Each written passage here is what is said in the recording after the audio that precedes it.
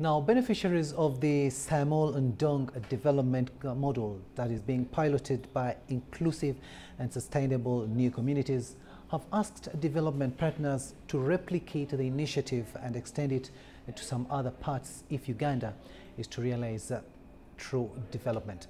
Now, the project has been piloted in three districts of Maracha, Bunyangabu and Luuka, and it has already left increased household incomes and uh, developed infrastructure, among other developments that have been achieved uh, through self-reliance. Our reporter, Bernard Iga, gives us more on that in this exclusive. Uganda is a country gifted by nature with regular rainfall. However, despite the abundant resources, 9 million Ugandans survive on 1 meal a day. Some have no access to quality education, healthcare facilities, and shelter. The advent of Semau Wundong, a South Korean development model being piloted by inclusive and sustainable new communities, has brought a new lease of hope to many Ugandans. Mr. Mawa Joel, a resident of Aliki village, is among the beneficiaries with poultry, animals like pigs, on top of practicing commercial agriculture. The 61-year-old says out of the 14 birds of chicken received and pigs, the results are immense. I started with a few animals, and this time the animals have increased. At least it has, it, it, it, it has given my level of income increase to buy more inputs for, for, for, for some of the projects you have seen out around the home state. Mm. It has also improved the nutrition in the home, particularly the eggs. Even the chicks are also times once in a month. His wife, Durijaru Felista, aged 50 and a mother of four, speaks highly about the results of inclusive sustainable new communities. Uh, I have completed nothing, but this project is now helping my children for school fees, food. This single mother of four, also in Orufe sub-county Maracha district, says the spirit of cooperation and self-help has helped touches hunger for good. Okay. So she said they usually, you know, have uh, those initiatives where they go and dig for their friends, and also she has helped dig, you know, to other groups of people. But also she has been helped, like have other people also come and help her to dig. There's a time when they came, they dug for her, and she has planted cassava. So that has been very good, that exchange program. The challenge, however, remains taking good care of the animals and birds, especially during scarcity of feeds.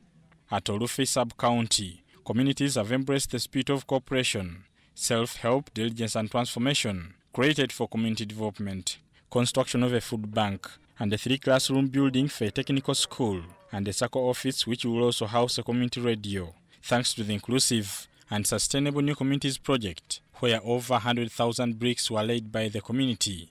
For these constructions, this is a dream come true according to the sub-county chief Christine Bamali and Arijoli Diana, the community development officer. Why they dreamt of having a community technical school is to cater, the, to cater for the school dropouts, the rampant school dropouts, because of uh, poor parents who will not afford higher education, so that they will give skills training to the school dropouts so that they will earn a living. It gives people the chance to own up especially the aspect of community contribution and participation, so they feel it is theirs. You cannot take that away from them. So it is one of the ways it has made us improve and also positivity towards projects. Yes. The project that is in line with Uganda's development agenda of a middle-income country by 2040.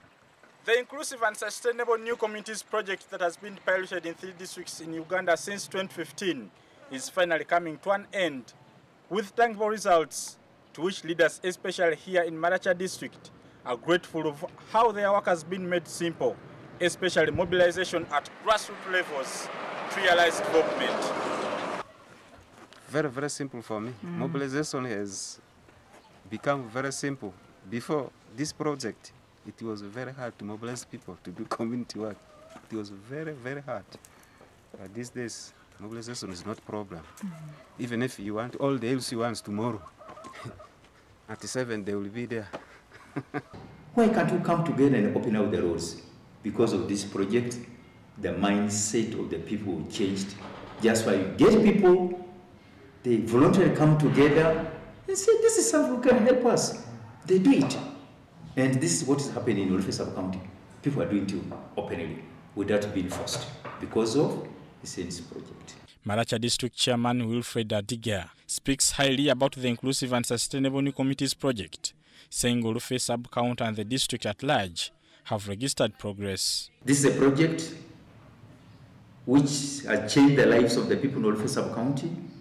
My request to the Minister of Local Government and other stakeholders that the good practices should be replicated in other sub-counties. With partnership from the Republic of Korea and United Nations Development Programme to promote the Saemaul Undong model for rural progress in Uganda, the Minister of Local Government on reports success. Communities come together, identify their needs, and agree to work on those issues themselves.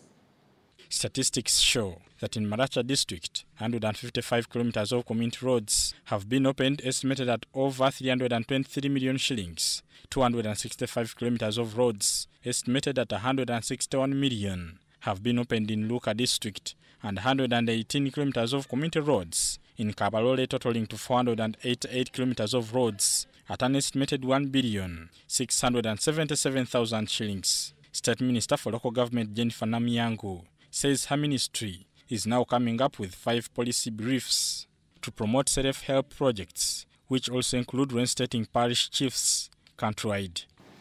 We have directed all the local governments to ensure that the parish chiefs are recruited.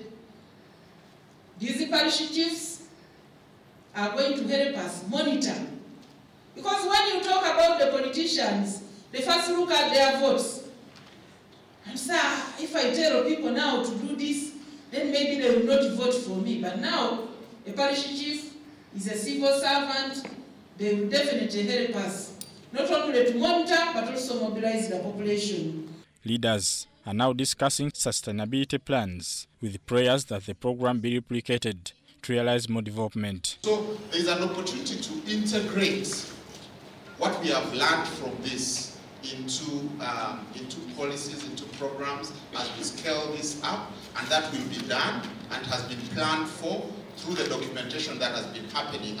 As the project comes to an end, these painted walls with messages that suggest mindset change in Olufe Trading Center and other parts of the district will keep reminding communities the importance of self-help, diligence and cooperation for collective development. Bernard Iga, UBC TV, Maracha District.